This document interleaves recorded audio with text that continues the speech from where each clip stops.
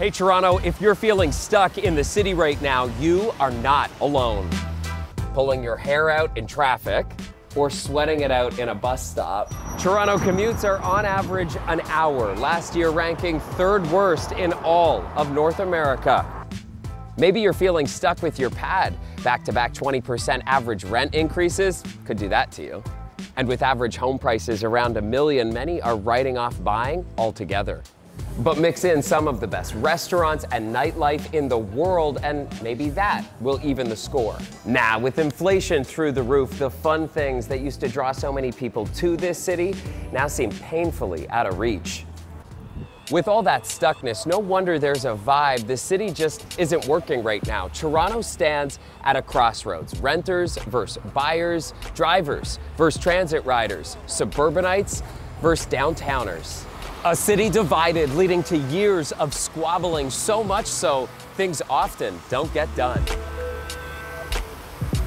Like what to do with the Scarborough RT being decommissioned this year, and still we're debating what to replace it with. And Rail Deck Park, that would be oasis over the track, seemed to have momentum, and then poof, it was gone, and now may be replaced by a condo complex. Even the current situation with Ontario Place, the provincial government says it's going to go ahead and do what it wants with its own land, and yet the debate over it continues.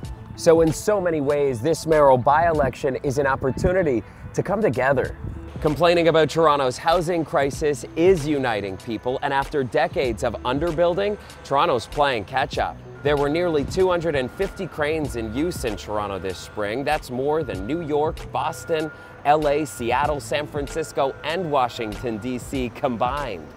The sprint to build is being outpaced by Toronto's exceptional population growth. Nearly 180,000 more people live in the city than did just a decade ago, and another 700,000 people are expected by 2051. So the city has a new target to build 285,000 new homes by 2031, and the question is, how?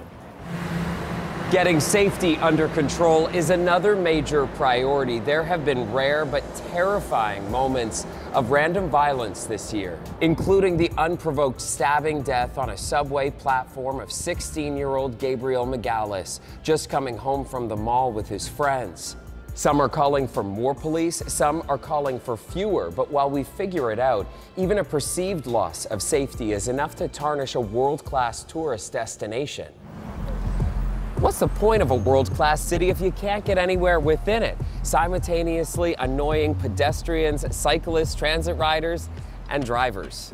Major sticking points in Toronto money and authority. It's like borrowing your friend's car. Sure, you're the one driving it, but many things about the car aren't actually up to you.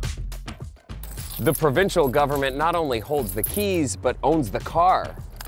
And the city just always seems to be begging other governments for money. It's time that we stop being treated, and I stop being treated as a little boy going up to Queen's Park in short pants. True, people are tripping over themselves trying to replace Toronto's first so called strong mayor. And after a record 70% of Toronto voters snoozed through the last vote, hopefully more of us peel away from summer and cast a ballot this time around to chart a path forward for the city that makes people feel a little less stuck.